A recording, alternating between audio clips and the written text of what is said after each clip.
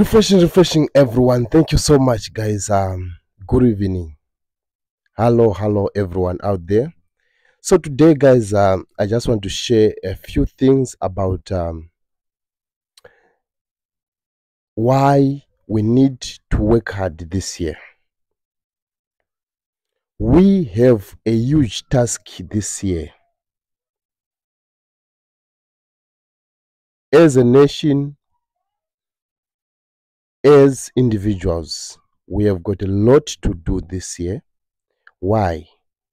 Because if you can look, we find that this year we did not receive enough rainfall.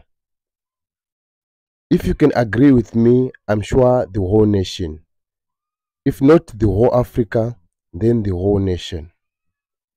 Therefore, as an individual, you yourself, you have to know that whatever money that you are getting, you need to invest. Whatever that money that you are getting, you need to be wise enough, like a snake. You need to be wise enough, like a termite. Why did I say so? Because a termite um, know the season know how to store their food.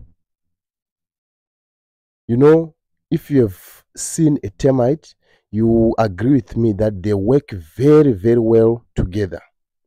And they store their food during summer and put down together and store for the next season. But us as individuals, we tend to not to know about tomorrow. We tend to ignore about the future. So this video will enlighten you uh, that you need to save for tomorrow. Whatever that small amount that you are getting, don't complain. Put aside the small money and save. Learn to save. Right? This year, we are heading into drought, into a serious drought. I can say we are already in serious drought. Therefore, we need to make sure that whatever we are getting, we must uh, invest in serious things and know very, very well that what are we investing into? For example, if you get money today, it is not wise for someone to buy a cow. Why? Because cows are facing a serious drought. So many cows are dying right now because of hunger. There is serious, serious uh, dry. There's serious hunger and drought all over.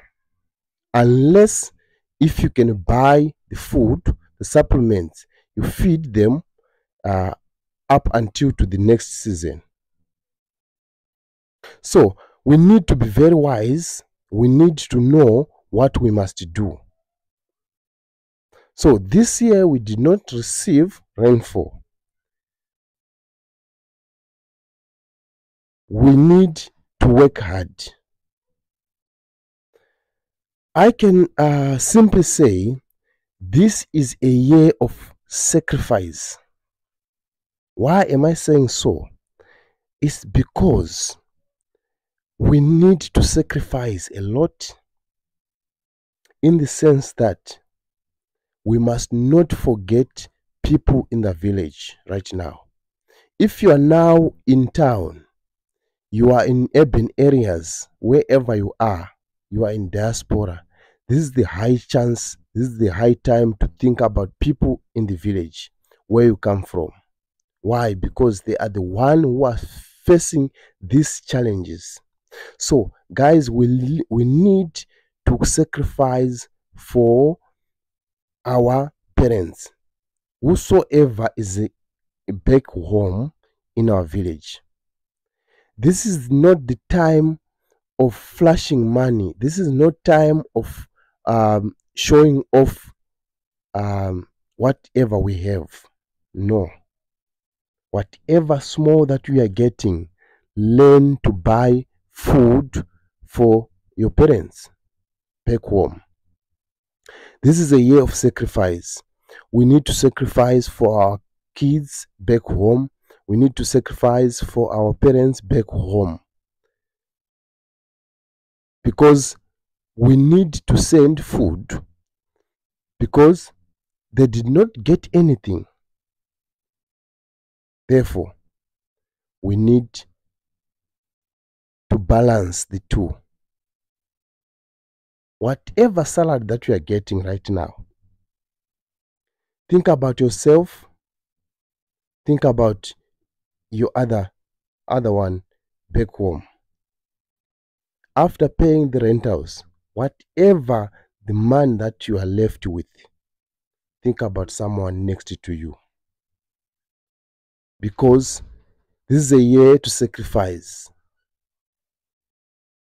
This is a year to sacrifice, of sacrificing.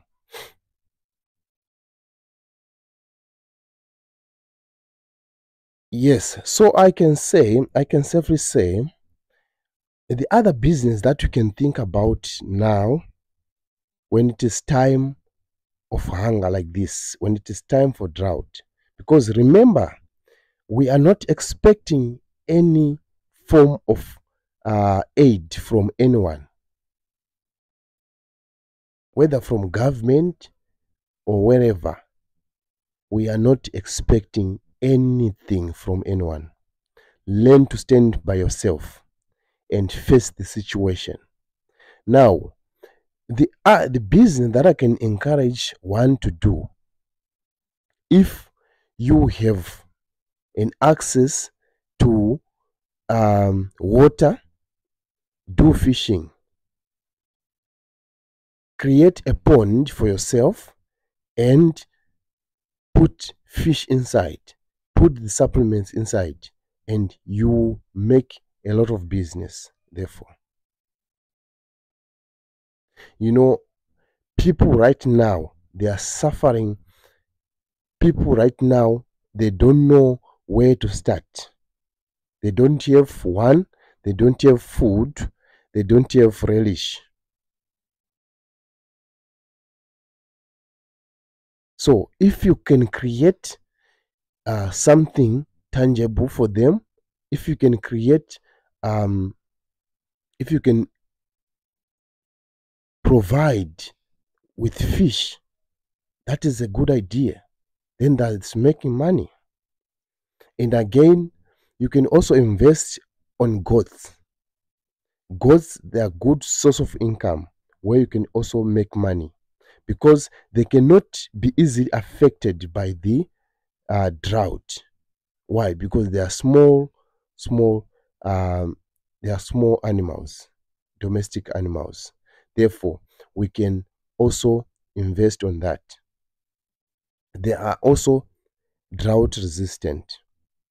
So you can actually go into that and invest in goats whenever if it is uh, those uh, goats which are not uh, which need supplements feed them feed them go for that and uh, put some supplements and you see that you have a lot of money.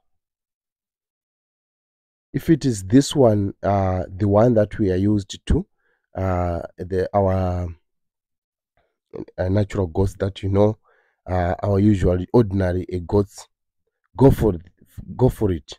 You better sell your go- your your your cow and buy the goats now.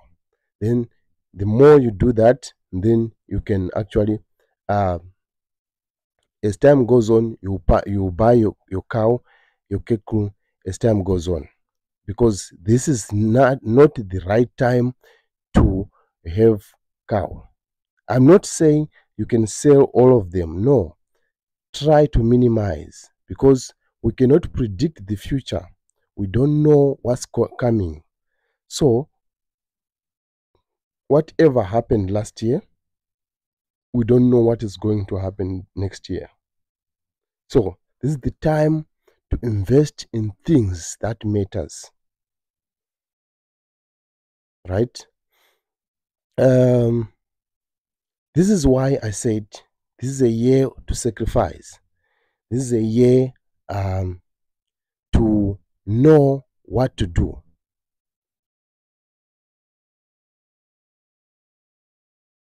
um, we need uh, to create a mindset of business. Everyone must be mind a business literate.